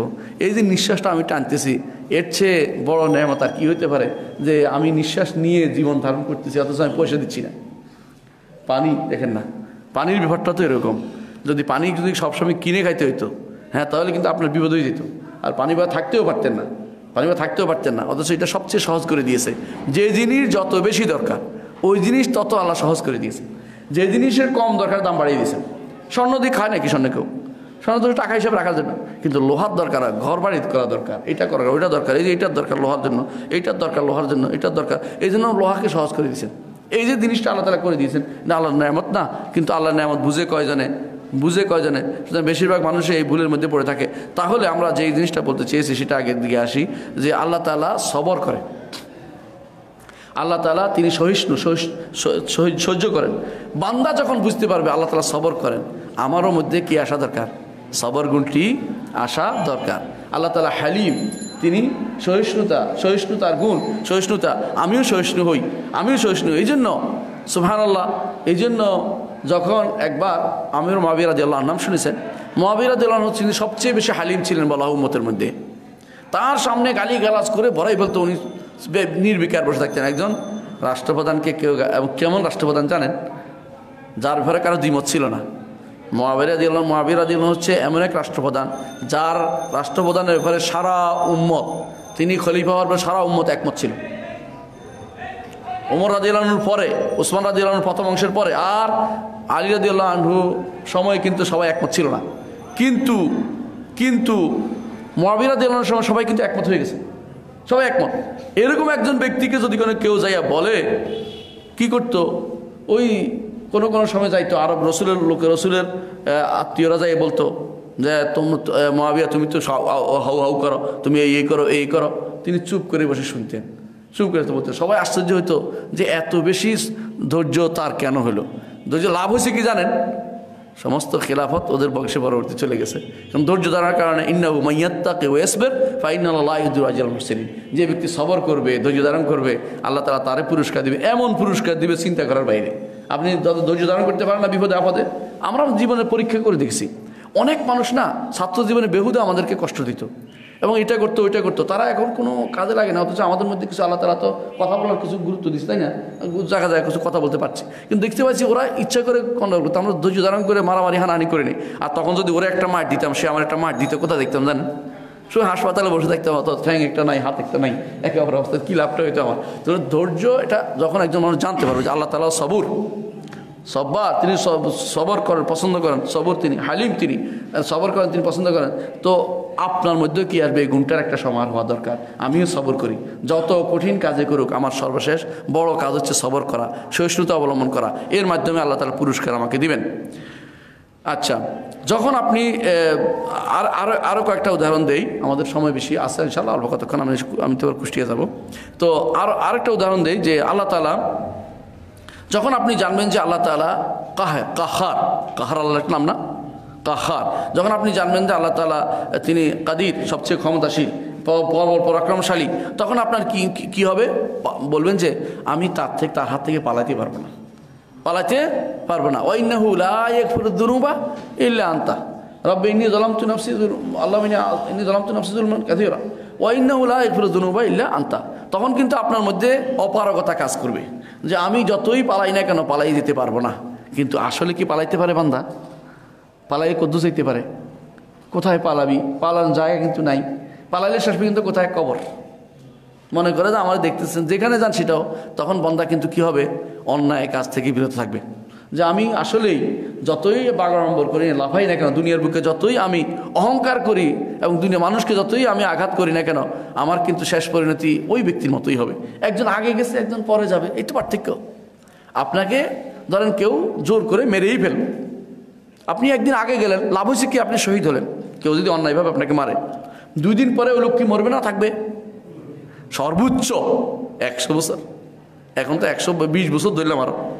একশো বিশ বছর। আর আপনি মরেছেন কত সত্তর বছরে। সে কি করেছে? একশো বিশ বছর।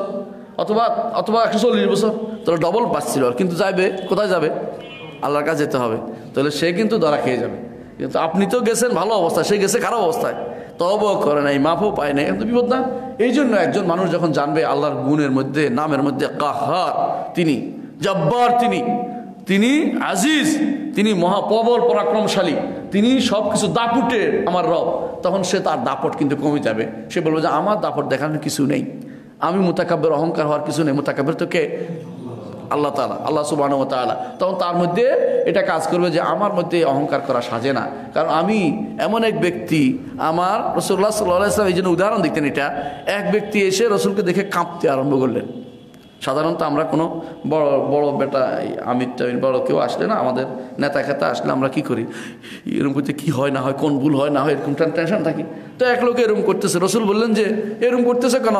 ইন্নামা আনা আমরা আতন এমনি আতিন তাকুলুল কাদিদ আই রে আমি তো একজন এমন মায়ের সন্তান যে মা শুকনা গোস্ত খাইতো। বুঝছ, শুকনা গোস্ত বুঝো? আরবরা কিন্তু গোস্ত শুকাই রাখতো। রম, কোরবানির পরে গোস্ত শুকাই রাখতো অনেক দিন পরে খাইতো। আমাদের দেশে এক সময় এটার প্রচলন ছিল যখন ফ্রিজ ছিল না। তখন কি করতো? গোস্ত শুকাই ফেলতো। শুকাই কয়দিন পর পর অভাব টভাব থাকলে সেগুলিকে পানি দিয়ে দিয়ে একটু একটু করে খাওয়াইতো। হ্যাঁ? অনেক দিন পরে। যদিও এগুলি এত বেশি শক্ত হয়ে যাইতো যে এগুলি প্যাডের দিকে যেতে হজম হতে চাইতো না। সব কিছু নিয়ে নাম তো মনে হচ্ছে না সব ছিঁড়ে ফেলতেছে। তারপরে তো খাইতো মানুষের তাই না? রসুল এটা কেন বললেন? বুঝাতে চাইলেন যে আমার অহংকার করার কিছু নাই। আমি কি একজন মায়ের সন্তান? তুমিও একজন মায়ের সন্তান। তুমি আমি, আমার মা একই রকমই। তিনিও গোস্ত খাইতেন খুরান শুকনা গোস্ত, আমি শুকনা গোস্ত খাই। কোনো আমার মাও শুকনা গোস্ত খাইতেন। সুতরাং এটা নিয়ে এত, তুমি এত আমাকে ভয় পাওয়ার কিছু নাই। এটা বুঝিয়ে দিলেন। তো যে ব্যক্তি আল্লাহ তালার এই নামগুলি সম্পর্কে জানবে, তিনি জব্বার, তিনি কাহার, তিনি আজিজ, তিনি তার এই সমস্ত বড় বড় নাম এবং গুণগুলি যে ব্যক্তি জানতে পারবে, সে কিন্তু নিজে আর অহংকারী হবে না। বলে যে না, আসল আসল যে অহংকারী তিনি কে? আল্লাহ, আমি তো অহংকার করছি, ভুল। আমার অহংকার কিছু নেই। আমার সারা শরীরের মধ্যে রয়েছে কি? সেটা তো বলব না, তাই না? ভিতরে যা আছে, সেটা যদি কোনো বের করে দেওয়া আমাকে মানুষ তাড়িয়ে দিবে। আল্লাহ তালা ঢাকিয়ে দিয়েছেন তিনি কাপড় দিয়ে। ঢাকিয়ে দিয়েছেন তিনি একটা চামড়া দিয়ে। ডেকে দিয়েছেন তিনি আমাকে বুঝার তৌফিক দিয়ে। নাহলে তো আমি বিপদে পড়ে যেতাম। এই জন্য একজন মানুষ অহংকারী হতে পারে না যখন তার অবস্থা দেখে। আরেকটি উদাহরণ দিচ্ছি, যে কীভাবে আল্লাহর গুণগুলি জানলে আমাদের কী লাভ?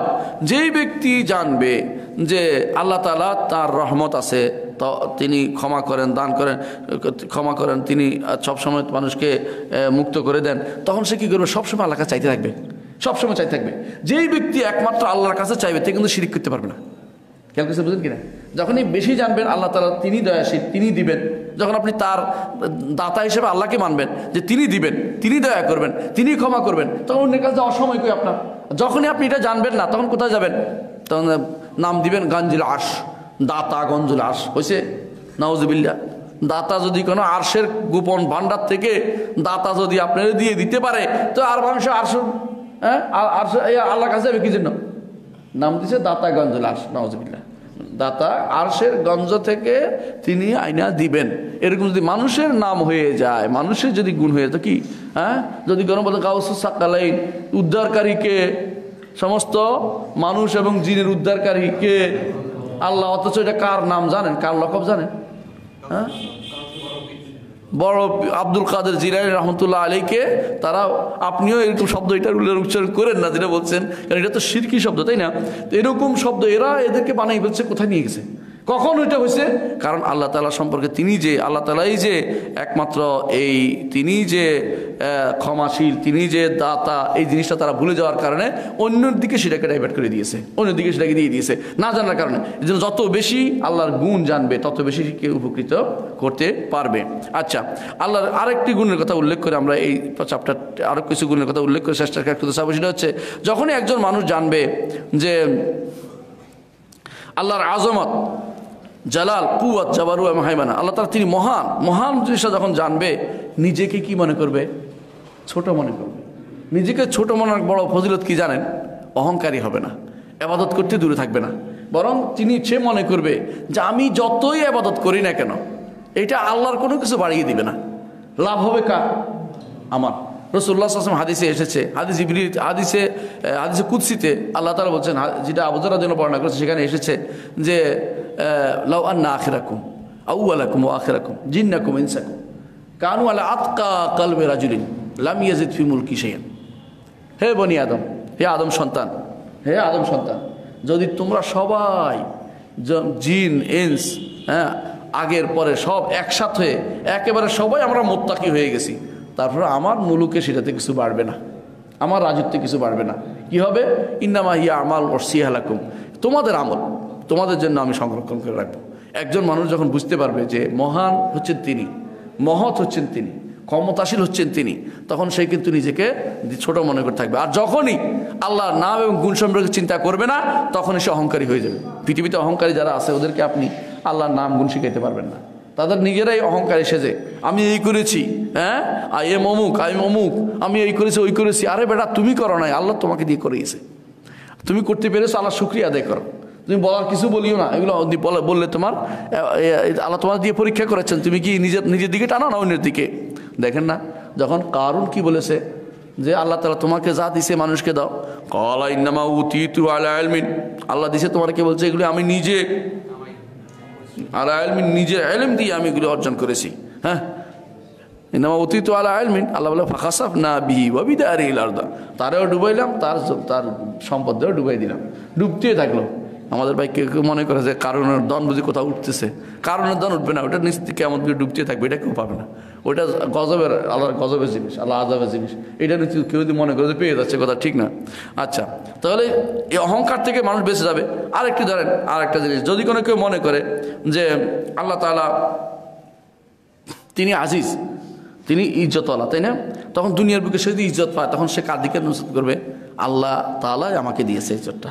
আল্লাহ তালা আমাকে ইজ্জত দিয়েছে। আর যদি কোনো সে ব্যক্তি আল্লাহর এই গুণ জানবে না, তখন সে কী মনে করবে? আমি নিজের, নিজে সেটাকে অর্জন করেছি। হ্যাঁ? কেউ কেউ তো বলে, নিজ হাতে নিজের ভাগ্য রচনা করেছি নাউজুবিল্লাহ। নিজের হাতে নিজের ভাগ্য রচনা করতে পারে। এ লেখে সাহিত্যিক ভাষা। হ্যাঁ? অনেকে সাহিত্যিক ভাষা লিখে তো করতেছে, খবর নেই। সাহিত্যিক ভাষা লিখতে লিখতে শিরিক করে ফেলছে। এটা তার খবর নেই। বরং তার সব সময় মনে করা উচিত যে আসলে আমার এইগুলি করা উচিত নয়, বরং এগুলি কার? আমার রবের। যেই ব্যক্তি আমি এগুলি টানাটানি করা উচিত না। যে ব্যক্তি, আরেকটা উদাহরণ দিচ্ছি।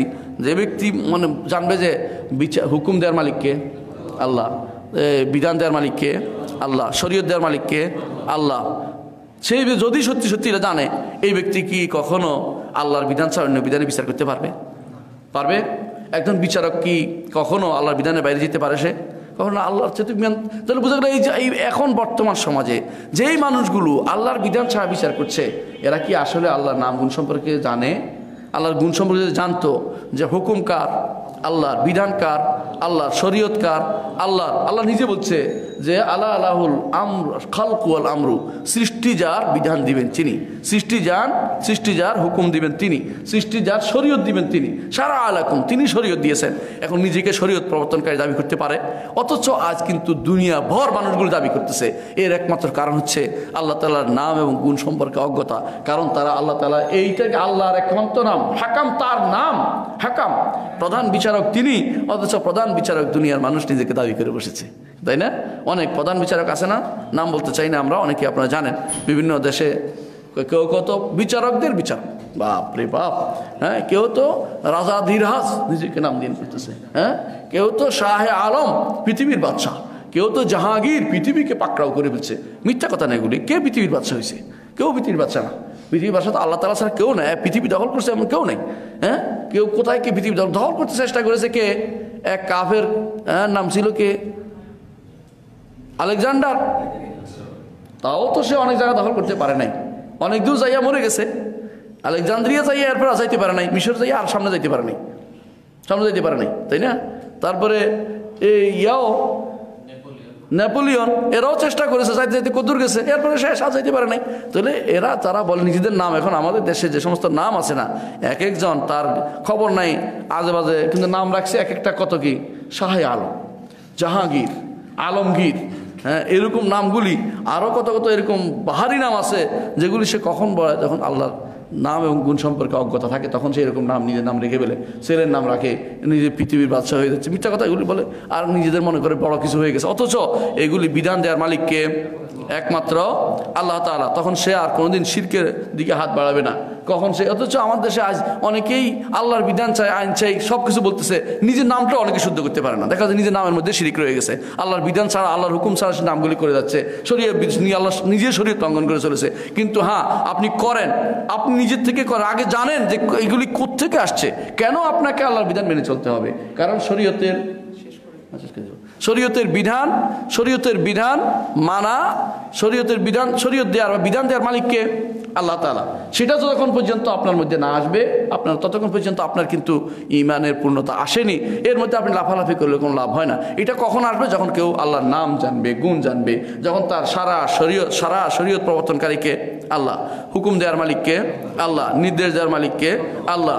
এবং যখন জানবে যে আল্লাহ তালা শুধুমাত্র সৃষ্টি করে আমাদেরকে ক্ষান্ত দেননি, তিনি সৃষ্টি করে বন্দা চলার মতো যত রকমের, যত উপ উপজীব্য আছে সবই দিয়ে দিয়েছেন, ব্যবস্থাপনা করে দিয়েছেন। আমার শুধু সেটা বাস্তবায়ন করা দরকার। আমি সেটাকে জায়গায় জায়গায় নিয়ে বিভিন্ন রকমের ইয়া নাম দিয়ে হ্যাঁ? বিভিন্ন উচ্চ কক্ষ নিম্ন কক্ষ নাম দিয়ে, আমরা কিন্তু কিছু বলি নেই। নাম দিয়ে সেখানে যাই আমরা নিজের আল্লাহর বিধানকে পরিবর্তন করার মতো ক্ষমতা আল্লাহ আমাদের দেন নাই, আমরা যদি না করি, এটা কখন হবে যখন আল্লাহ তালার নামগুলি জানবে, আল্লাহ তালার গুণগুলি জানবে, এর আগ পর্যন্ত কিন্তু মানুষের ভিতরে সে উপলব্ধি আসবে না। তাহলে আমরা কি বুঝলাম? আল্লাহর নাম এবং গুণ জানা অত্যন্ত জরুরি। আমরা কিন্তু মনে করছিলাম অনেক কিছু পড়াবো, কিন্তু সময় আমাদেরকে আর কুলোচ্ছে না। ইনশাল্লাহ আমরা পরবর্তী সেশনে আল্লাহর নাম এবং গুণের আর গুণ জানার আরও কিছু ফজিলত সহ এবং বাকি আলোচনা সমাপ্ত করব। আল্লাহ আমাদেরকে বুঝার তৌফিক দান করুন এবং দিন মানার তৌফিক করুন। ও আখরাদ আলহামদুলিল্লাহ আলমিন। আসসালামু আলাইকুম রহমতুল্লাহি বরকাত